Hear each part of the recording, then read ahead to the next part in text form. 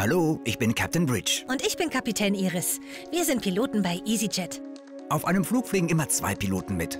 Vor jedem Flug kontrollieren wir das Flugzeug innen und außen. Ein Pilot bleibt im Cockpit und prüft dort alles. Der andere Pilot kontrolliert das Flugzeug von außen. Ich führe euch jetzt mal herum. Wir fangen immer vorne an. Wir nennen das die Nase des Flugzeugs. Sie ist stromlinienförmig.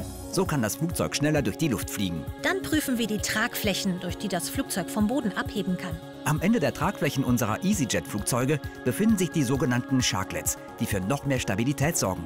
Das sind die Landeklappen, die wir vor dem Landen ausklappen, um langsamer zu fliegen. Danach prüfen wir die Triebwerke. Das hier sind die Schaufelblätter, die sich sehr, sehr schnell drehen und uns so Antrieb geben. Zum Schluss gehen wir zur Rückseite des Flugzeugs. Wir prüfen die Beleuchtung und die Heckflosse, die für Stabilität während des Flugs sorgt. Genau wie die Schwimmflosse bei einem Hai. Kennst du die Namen all dieser Flugzeugteile? Zeichne ein Flugzeug und schreib die Namen aller Teile auf, an die du dich erinnerst.